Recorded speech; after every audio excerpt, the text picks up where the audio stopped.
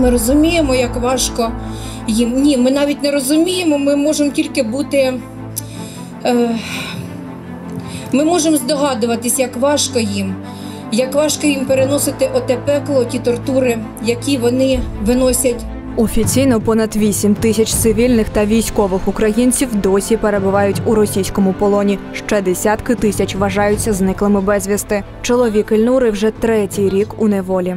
11 березня 22-го року е, мені прийшло повідомлення в 11.48 про те, що е, ми живі, ми в полоні. Е, З вообще з чужого номера. Ну я розплакалась, розкричалася. Він дав йому телефон, і я почула, що все, все добре, щоб я не плакала. Після цього Ельнура не отримувала жодної інформації про нього. Кожен день жінка бореться за життя свого коханого.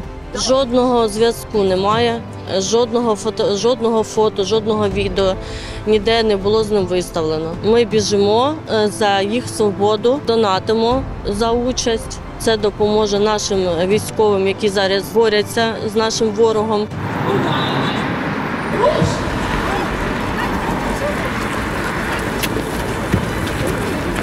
Обов'язковий донат для забігу 100 гривень. Гроші збирають на потреби військових різних підрозділів. збирають е, хлопці вільне велике полювання. Вони дуже допомагають нашим військовим на закупку мавіків, пікапів. Окрім Дніпра, долучились десятки людей з інших міст. Збір поширювали у соцмережах. разом з Дніпром е, в забігі будуть приймати участь Запоріжжя, Одеса, Київ, Рівне, Івано-Франківськ та також інші країни. Лише у Дніпрі зареєструвалось майже дві сотні людей. Серед них цивільні, волонтери і діючі військові. Бігаємо не тільки ми, а навіть наші улюбленці домашні. Це собака одного із наших е, захисників.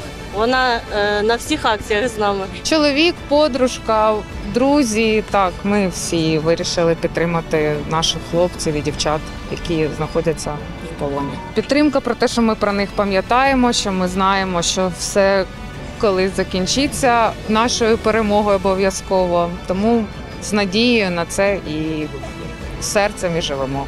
Завдяки акції Забіг за свободу зібрали понад 85 тисяч гривень.